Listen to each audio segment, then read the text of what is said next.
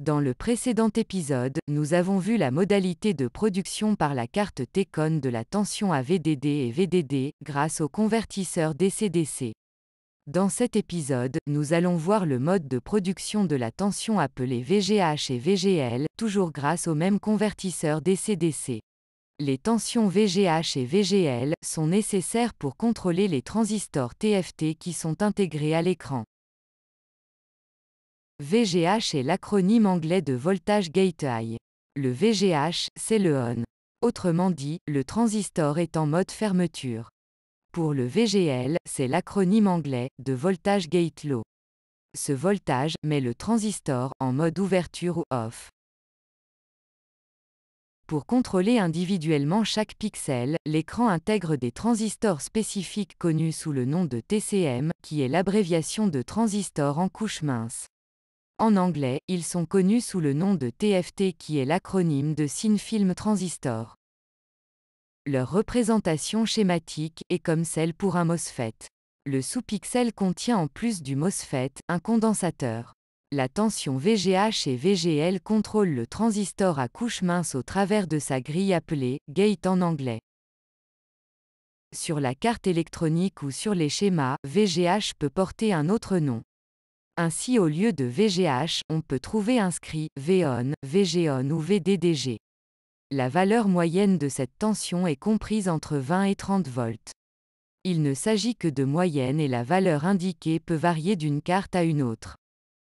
Dans notre exemple, de convertisseur DC-DC sous la référence MAX 17113, le VGH porte le nom de VGON.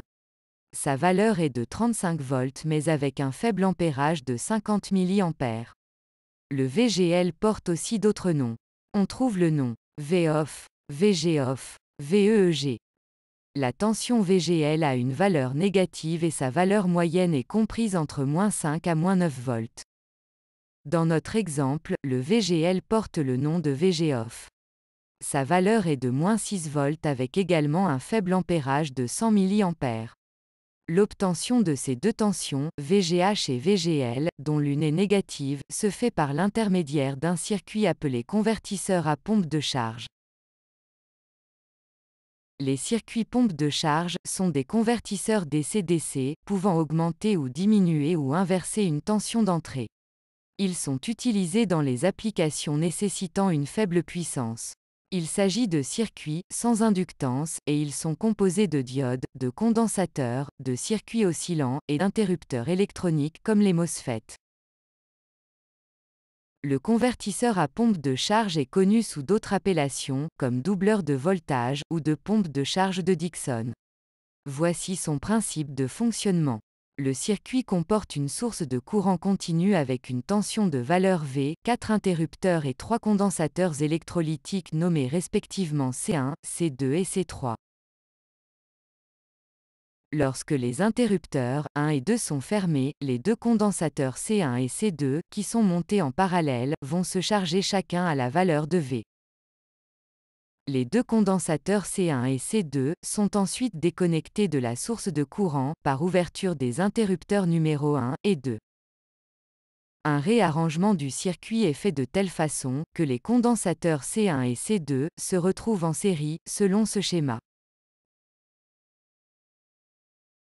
À la fermeture des interrupteurs numéro 3 et 4, le condensateur C3, appelé condensateur de sortie, est à son tour chargé à la valeur de 2V. Donc, le double du voltage d'entrée, d'où l'autre appellation de ce circuit, de doubleur de voltage. En réalité, et en pratique, le montage est fait selon le schéma suivant. Le condensateur C1 est le condensateur de l'entrée, ou input en anglais. C'est lui qui est constamment en contact avec la source du courant. Le condensateur C2, placé au milieu, est le condensateur dit pompe de charge. Le condensateur C3 est le condensateur de sortie ou output en anglais. Les quatre interrupteurs sont réarrangés selon cette configuration. Lors de la première phase, les interrupteurs numéro 2 et 3 sont fermés. Cela conduit à la mise en parallèle des deux condensateurs C1 et C2 avec le générateur de courant. Lors de la deuxième phase, les interrupteurs 2 et 3 sont ouverts simultanément, tandis que les interrupteurs numéro 1 et 4 sont fermés, aussi simultanément. C1 et C2 se retrouvent dans une configuration en série, et en même temps, ils sont en configuration parallèle, par rapport au condensateur C3. Ce dernier va se charger au double de la tension d'entrée. Pour obtenir en sortie une tension de valeur négative, le circuit est réarrangé de la manière suivante. L'interrupteur numéro 3 est déplacé selon cette configuration. La polarité des condensateurs C2 et C3 est inversée. La séquence de fermeture des interrupteurs va aussi être différente. Lors de la première phase, les interrupteurs numéro 1 et 3 sont fermés. Dans cette configuration, le condensateur C1 de l'entrée est mis en parallèle avec le condensateur C2 appelé capacité de la pompe de charge. Quand la charge du condensateur C2 est atteinte, commence la deuxième phase. Les interrupteurs, numéro 1 et 3 sont ouverts, suivis rapidement par la fermeture des interrupteurs numéro 2 et 4 le condensateur C2, c'est-à-dire le condensateur pompe de charge, se retrouve en configuration parallèle, avec le condensateur de sortie C3. C2 va délivrer une tension égale à la tension du générateur mais avec une polarité inversée. Dans notre exemple, de convertisseur DC-DC, Max 17113, le circuit pompe de charge fait appel à la place des interrupteurs manuels, à des interrupteurs électroniques commandés par un oscillateur. Le circuit comporte aussi des diodes, et des régulateurs de tension. Le principe de fonctionnement de la pompe de charge dans cette configuration est la suivante.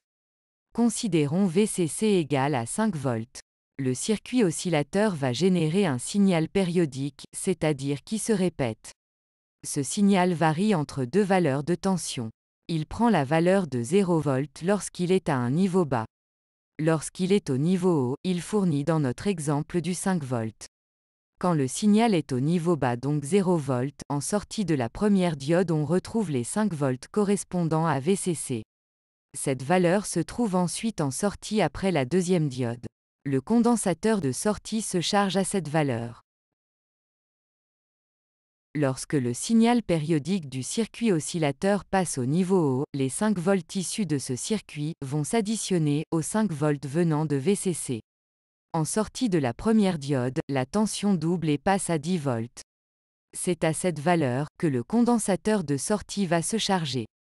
Il faut noter que dans le circuit pompe de charge, le dernier condensateur et la dernière diode ont pour rôle de lisser la tension de sortie.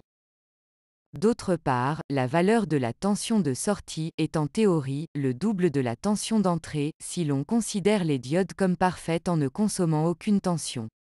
Or dans la réalité, la diode consomme une certaine tension pour pouvoir fonctionner. C'est ce que l'on nomme la tension seuil de la diode cette valeur doit être soustraite de la tension théorique souhaitée en sortie. Pour limiter la chute de tension, au passage des diodes, on utilise des diodes à faible tension de seuil, comme c'est le cas avec les diodes Schottky.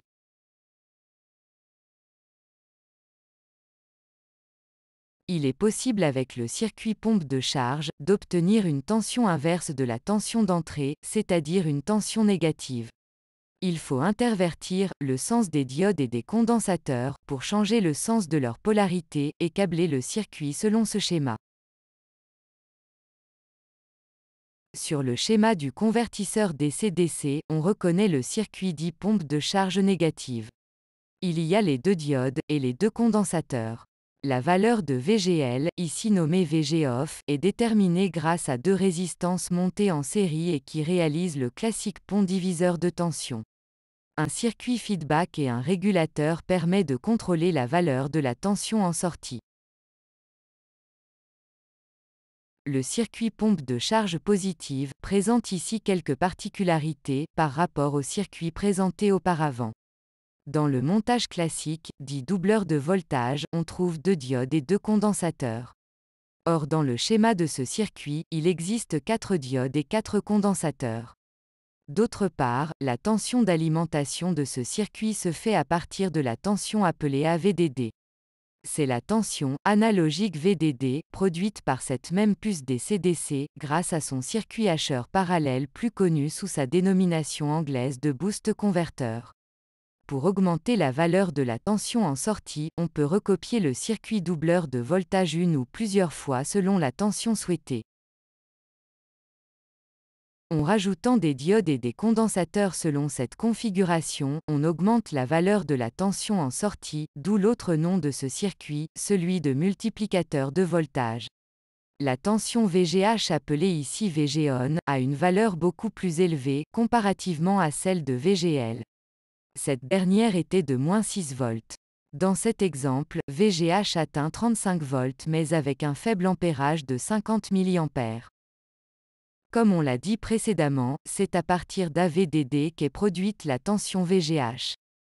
Pour terminer, le circuit comporte un pont diviseur de tension constitué de deux résistances. Ceci permet d'ajuster la valeur de la tension en sortie. Cette dernière est aussi contrôlée par un circuit feedback et un régulateur de tension.